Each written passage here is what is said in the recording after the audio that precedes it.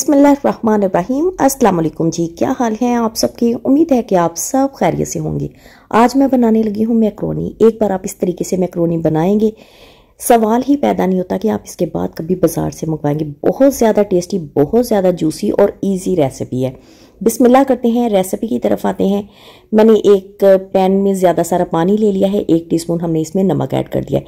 Macaroni हम इसमें add करेंगे, लेकिन मैक्रोनी को हमने इसी तरह ऐड नहीं करना है, इसे धोकर फिर हम इसमें ऐड करेंगे, क्योंकि इसके ऊपर बहुत ज़्यादा केमिकल्स लगे होते हैं। अक्सर लोग ऐसी केयर्स नहीं करते, लेकिन आप ऐसी केयर किया करें। एक बार मैक्रोनी को धो लें, उसके बाद आपने बॉयल करना है। अच्छा जब पानी को हल्का हल्का बॉयल आने लगेगा, उस टाइम आपने मैक्रोनी ऐड करनी है। और जैसे ही आपको लगे कि आपकी मैक्रोनी सॉफ्ट हो गई या फ़ौरन से आपने इसे पानी में से निकाल देना है। ज़्यादा देर पानी में नहीं रखना है, वरना आपकी सारी मैक्रोनी एकदम से हलवा हो जाएगी, उसकी लुक ख़राब हो जाएगी। मैक्रोनी को निकालेंगे और इसके ऊपर नॉर्मल पानी हम गुजार देंगे ताकि मैक्रोनी मज़ीद सॉफ्ट ना हो। इधर जना मैंने कढ़ाई के अंदर ले लिए हैं तीन टेबल स्पून कुकिंग ऑयल एक मीडियम साइज़ का प्याज लिया है। प्याज को हल्का सा हमने फ्राई कर लेना है। लाइट सा हमने प्याज को फ्राई किया, इसके बाद मैंने एक टेबल स्पून भरकर इसमें अदरक लहसन का पेस्ट ऐड कर दिया है। अदरक लहसन को दो से तीन मिनट तक फ्राई करेंगे ताकि अदरक लहसन की अच्छी सी खुशबू आना स्टार्ट हो जाए। इसके बाद तकरीबन मैंने 200 ग्राम चिकन लिया है मतलब एक कप तकरीबन मैंने चिकन लिया है। चिकन की हमने खूब अच्छे से भुनाई करनी है कि चिकन का कलर चेंज हो जाए। थोड़ी थोड़ी देर के बाद हम चम्मच हलाते जाएँगे। ये देखिए, तकरीबन चार से पाँच मिनट लगे होंगे। चिकन का कलर बहुत ही अच्छे से चेंज हो चुका है। अब हम इसमें ऐड करेंगे दो मीडियम साइज़ के मैंने टमाटर लिए थे। टमाटरों को मैंने ब्लेंडर जार में डालकर अच्छा सा ब्लेंड कर लिया टमाटर इसमें ऐड करेंगे। टमाटरों को हमने खूब अच्छे से पकाना है। इसके ऊपर हम ढक्कन दे देंगे। तकरीबन दस से पंद्रह मिनट के लिए हम टमाटर को पकने के लिए रखेंगे। साथ ही हमारा चिकन जो है, ये भी अच्छे से सॉफ्ट हो जाएगा।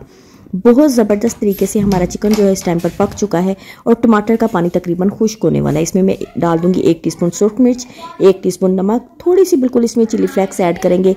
अच्छे फ्लेवर के लिए हाफ़ टी स्पून हम इसमें काली मिर्च ऐड कर देंगे। जस्ट हमने इसमें इतनी चीज़ें ऐड करनी है। अब मज़ीद भुनाई करेंगे। इतनी अच्छी हमने भुनाई करनी है कि ऑयल नज़र आने लग जाए। ये देखें, इस टाइम पर इसका ऑयल नज़र आने लगे अब हम तीन वेजिटेबल ऐड करेंगे। हाफ़ हाफ़ कप मैंने सारी वेजिटेबल्स ली हैं, गाजर ली है, बंद गोभी ली है और शिमला मिर्च ली है। ये बेसिक वेजिटेबल्स हैं जो कि मैक्रोन में यूज़ होती हैं। इनसे फ्लेवर बहुत अच्छा आता है। अच्छी सी इन वेजिटेबल्स की हमने बुनाई करनी है, तकरीबन तीन से चार मिनट लगेंगे। ये वेजिटेबल्स बहुत जल्द कुक हो जाती हैं मतलब इनका क्रंच हमने ख़त्म नहीं करना है। तीन से चार मिनट के बाद हम इसमें डाल देंगे एक टेबल स्पून सोया सॉस, एक टेबल स्पून चिली सॉस और जस्ट एक टेबल स्पून ही हमने इसमें सिरका ऐड करना है। अच्छा जी, ये सोसिस ऐड की हैं। इन सोसिस का हमने पानी जो है, वो खुश्क नहीं करना है। हल्का हल्का इसमें लिक्विड होगा और ये मैक्रोनी हमने इसे बॉयल करके रखा था। लास्ट में फिर हमने इसके ऊपर पानी डाल दिया, जिससे इसका एक एक दाना अलहदा हो गया। मैक्रोनी हम ऐड करेंगे और अच्छे से हमने इसमें चम्मच हिला देना है। बहुत ज़बरदस्त हमारी रेसिपी रेडी हुई है। अगर आप नए हैं तो मेरे चैनल को सब्सक्राइब करें। वीडियो अच्छी लगे लाइक लाजमी कीजिएगा। मुझे अच्छे अच्छे कमेंट्स लाजमी दीजिएगा। लास्ट में मैं इसके ऊपर ओरिगेनो डाल दूँगी और बिल्कुल हल्की आग पर इसके ऊपर ढक्कन दे दूँगी। बिल्कुल हल्की आग पर मैं इसे रखूँगी जस्ट पाँच मिनट के लिए, ताकि इसके अंदर ओरिगेनो की खुशबू बहुत ही अच्छे से आने लग जाए। ओरिगेनो जस्ट मैंने एक से दो चुटकियाँ ही इसमें ऐड की हैं और बहुत अच्छी खुशबू इसमें आने लग गई है। ये देखिए, इसकी लुक बहुत यमी है। एक एक दाना इसका लहदा है और बहुत ज़्यादा टेस्टी रेडी हुई है। बहुत इजी रेसिपी है। लाजमी ट्राई कीजिएगा और मुझे कमेंट में ज़रूर बताइएगा आपको मेरी रेसिपी कैसी लगी। अपने फैमिली फ्रेंड्स के साथ लाजमी शेयर कीजिएगा। अपना बहुत सारा ख्याल रखिएगा। अल्लाह हाफिज़।